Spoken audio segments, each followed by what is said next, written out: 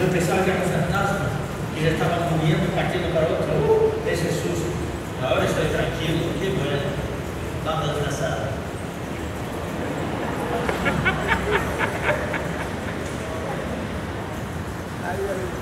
Oh, e aí, vamos falar ao Senhor, graças.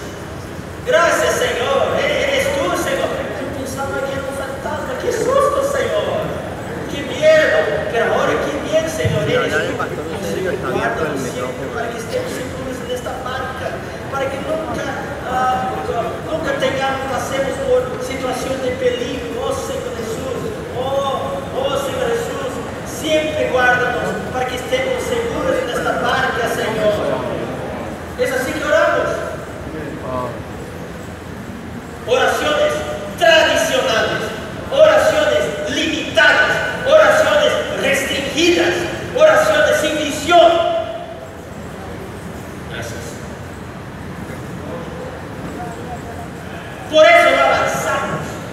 Dios, verdades que pensamos, pedimos o pensamos. Pensas pequeño, siquiera pensas, piensas o solamente pides. Muchas veces pedimos una cosa y pensamos otra.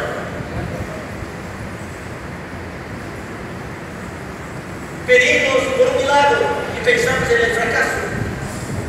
Es verdad. Pedimos, Señor, sáname, y yo pienso que estoy muy enfermo. Pedimos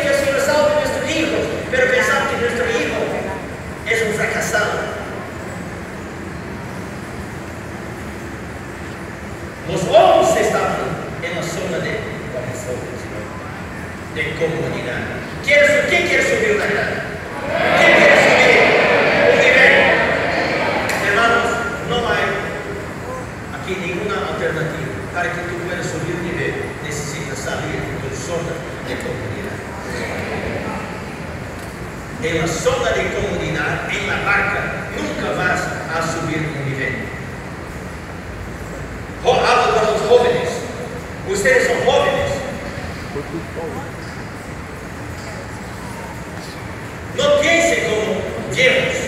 Perdón, no estoy menospreciando los viejos.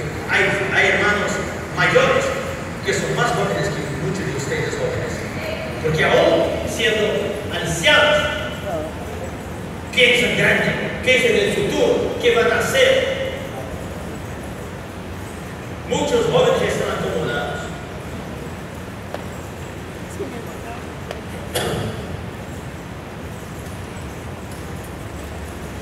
Los jóvenes estaban tranquilos. Pero Pedro, que normalmente criticamos, ele era diferente. Ele dijo: Eu não estou satisfeito. Oh Senhor Jesus. Eu sei que eres tu, Senhor, pero não estou tranquilo. Não quero quedarme na barca. Quero ter uma nova experiência. Vem. Quero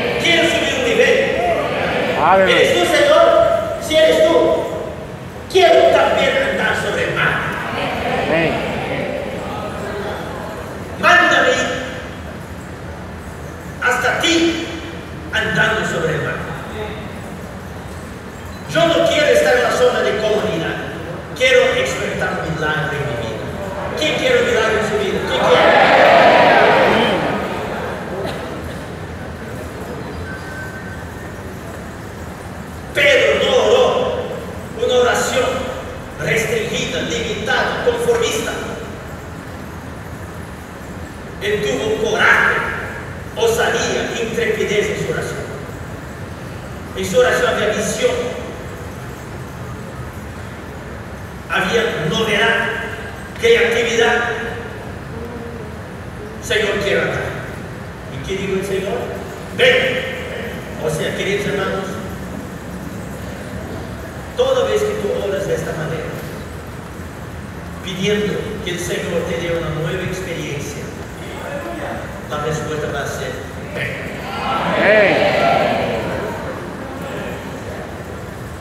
Y Pedro salió de la barca. Imagínense, hermanos, saliendo de la barca, pisando sobre agua.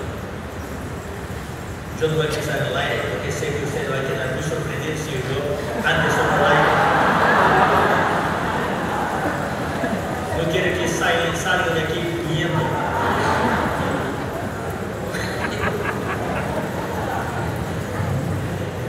Salió, anduvo sobre el mar.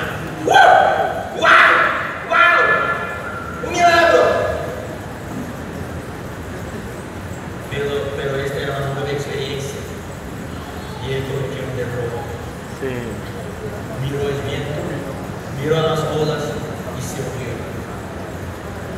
Por eso no quiero salir de la barca. Prefiero estar seguro en la barca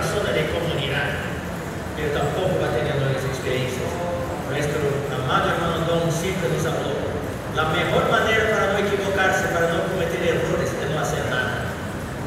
Si tú no haces nada, nunca vas a cometer errores, nunca vas a, equivo- a equivocarte, tampoco va a avanzar, tampoco va a tener cualquier experiencia. Yo prefiero salir.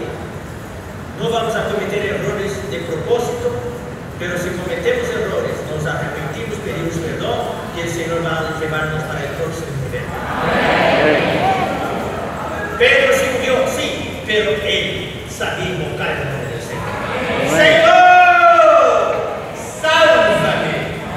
Y Señor extendió las manos y se asió de él. Y él tuvo la experiencia de ser rescatado del fondo del mar. ¿Quiere tener esta experiencia? Sentir la mano del Señor haciendo de tu mano. Y el Señor le dijo, ¿por qué dudaste? Hombre de poca fe. Y entraron en la barca.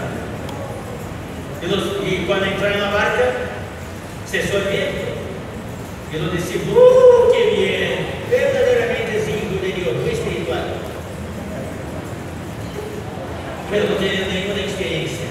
Cuando llegaron a la orilla, deci- todos descendieron de la barca. Imaginen, hermanos, imagínense la, el escenario. 11 discípulos, muy cómodos y secos. Solamente un discípulo estaba mojado. Y no muy confortable. Estaba con frío, pero él estaba mojado.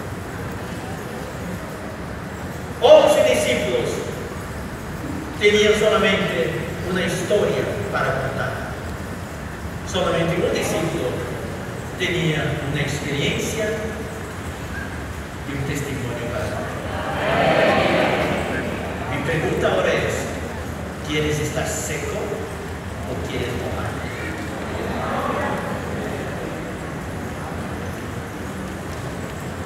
¿Quieres estar siempre seco, cómodo o quieres estar Pero después de eso, él subió un nivel.